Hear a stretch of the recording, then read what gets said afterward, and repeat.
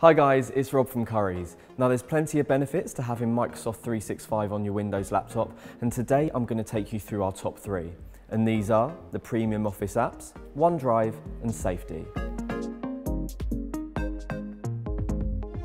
If you've got a Windows laptop, having Microsoft 365 and the premium apps will give you the tools you need to tackle any working or studying, whether you're working from home or anywhere else. The apps will allow you to create spreadsheets, presentations, or even just general documents. There's also features like ideas in Excel, Researcher in Word, and intelligence and analytics functions. OneDrive is great for modern working when multiple people need to work on a single document. Essentially, it gives you a place on the internet to put your files safely and securely, and then multiple people can access and work on that document at the same time, no matter where you are.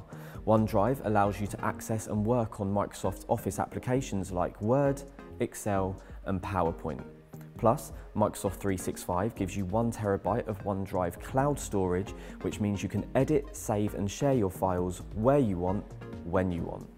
Safety is an important point and one that's definitely worth its own mention. Now Microsoft 365 has its own strict security system which is constantly being updated, so it's always offering you the best protection. So that puts you at ease that your work and data is being looked after.